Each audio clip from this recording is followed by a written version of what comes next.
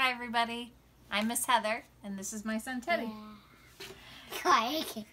And tonight we're going to read you a book called Spend It by Cinders McLeod. It's a money bunny book. We received this book through Dolly Parton's Imagination Library. It's a wonderful program that sends books uh, to children, I believe once a month between birth and five years of age. Um, so if you're not already participating in this wonderful program, I'd recommend looking into it. So spend it. This is Sunny. This is Sunny's mom. And this is Sunny's allowance jar. This is where he keeps his carrots. Carrots are money in Bunnyland. Every Saturday, Sunny gets three carrots for his allowance. Sunny loves Saturdays. I want to buy everything. Everything? Yes, everything. When I see a toy rocket, I want to buy it. When I see a pogo stick, I want to buy it.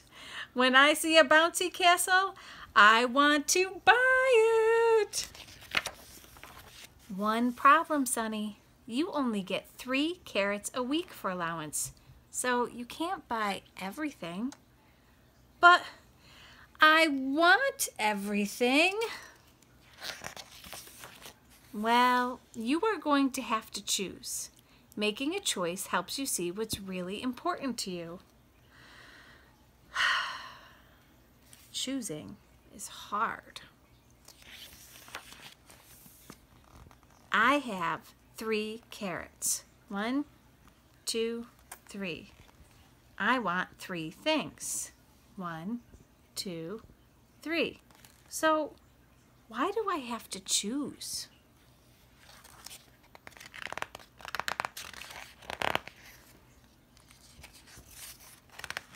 Because the things you want don't all cost the same amount. So let's give this more thought. I don't want to think. I want to spend. Well, let's see. You really like that toy rocket? I love it. Okay, that toy rocket costs two carrots. One, two. And you really like that pogo stick? I love it! Okay, that pogo stick costs three carrots. And you really like that bouncy castle? I love it! That bouncy castle costs 100 carrots. Whoa. That's ridiculous! Well, it's not ridiculous if you have 100 carrots and nothing else to spend it on. Still ridiculous. Forget the bouncy castle. And the toy? You already have a lots of toys. Yeah, forget the toy. Hmm, what can I buy with my three carrots? I'll buy the pogo stick! Great, sounds like you made your choice. How about we go to the toy store now? Wow, Sunny, you're getting really good at this money stuff. Yes, I'm a smart spender. And I love it. Boing, boing, boing, boing. The end.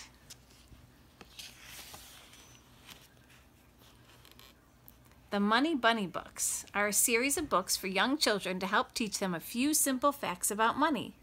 In Earn It, talented Bun wants to be rich and famous, but learns that it takes work. In Spend It, enthusiastic Sunny wants to buy everything but learns to make choices. Do they get what they want? Not exactly. Do they discover something valuable? Yes. It's never too early to teach your little bunny about money. After Teddy and I read Spend It the first time, we talked about him earning an allowance every week. And we thought that was a great idea for him to learn how to make choices about what to buy. Because just like Sunny in Spend It, Teddy wants to buy everything.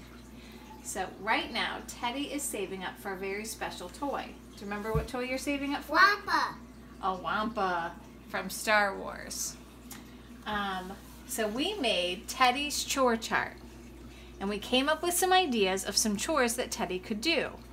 Teddy, can you tell our preschool friends what chores you do? I did the laundry. What did you do with the laundry? I put away. Look at the camera so they can hear you. I did away laundry.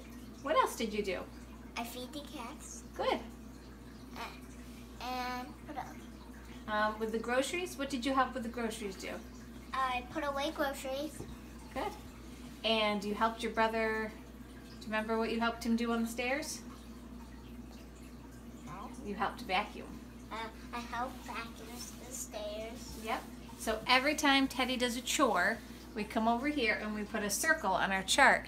And we've decided that every circle is worth 25 cents. So one, two, three, four circles equals a dollar.